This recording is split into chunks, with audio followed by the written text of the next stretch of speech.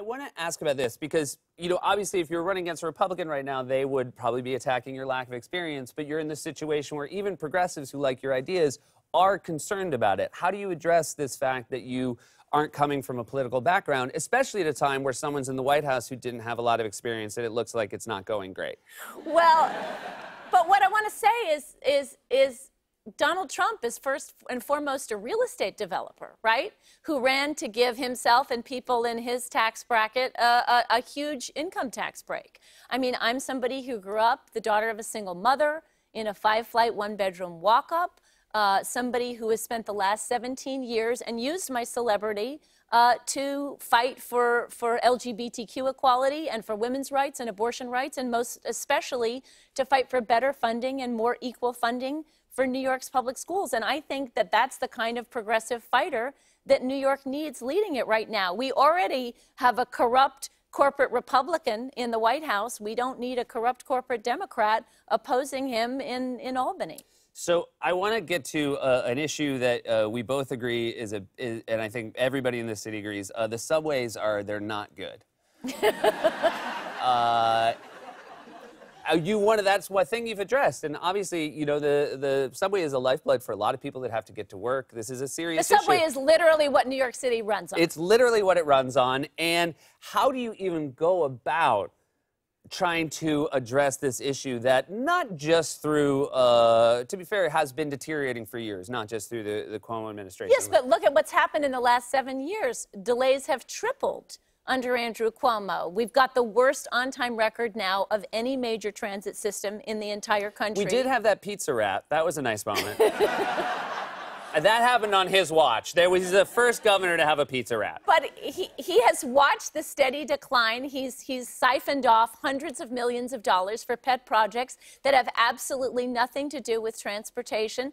And the fact of the matter is, like so many of the issues that we face, the problems that we face in New York, we know the solution. But right now, we have a governor who doesn't have the political will to make it happen. The solution being we need more money put into the subways. The solution being we have a really comprehensive plan for how to fix them, to replace the 1930s era signals, to replace the, the trains from the 60s and the 70s, to, to run cars closer together so we can get more trains on the system so we're all not jammed in like sardines. But Andrew Cuomo doesn't want to enact uh, a, a, tax on millionaires because they're some of his biggest donors and he doesn't want to alienate them. And his and, and they're not people who ride the subway. He himself is not someone who rides the subway. He's been on the subway twice since taking office. As somebody who's on the subway every day and knows firsthand how terrible it is and how it's getting worse and worse month by month, this is not something we have a choice about fixing the New York City subway. And this is not something that we can delay fixing. It's only going to get harder and more expensive to fix the longer we wait. Is it has it been disappointing for you, or is it what you expected that a lot of establishment Democrats are uh, throwing their support behind uh, Governor Cuomo? Uh, you know, people like Joe Biden and people like Hillary Clinton are, are, are supporting him. Is that uh, what you expected, or a disappointment? This is exactly what we expected. This is a total insurgent campaign. This is a people powered campaign. And this is a campaign that uh, we're talking to people about issues. We're talking to people about things that they care about, like um, legalizing marijuana. I know your audience doesn't care about that issue in particular.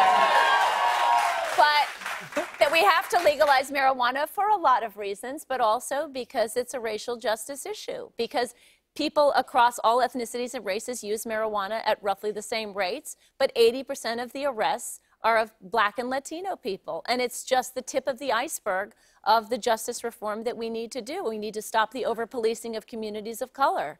Uh, we have to stop mass incarceration. And, and when we're talking about mass incarceration, we're talking about mass incarceration of people of color. And uh, uh, the subway is also mass incarceration, if you've been on it recently. At the uh, moment, at the moment it is. at the moment it is. Uh, it, it's all very exciting. Uh, it's very exciting to have you here, both because of uh, the political message that you're pushing forward. Also, we were talking backstage. I do want to mention this briefly. I had never seen Sex in the City. Uh, my wife made me start watching it this year. We're on I'm season so four. Yes. I'm very much enjoying it. Good, good, um, good. I, uh, but what, I'm really bothered because I feel like I have a really good impression of Steve. Really? Yeah. but I feel like it's a problem because I feel like the window is closed as far as that being an effective tool.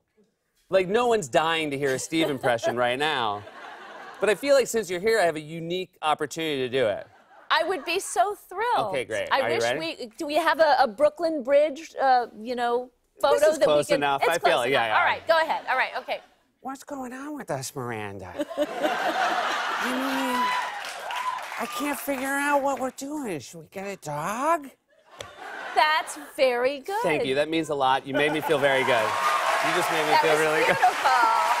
Thank you so much for being here. Give it up for Cynthia Nixon, everybody.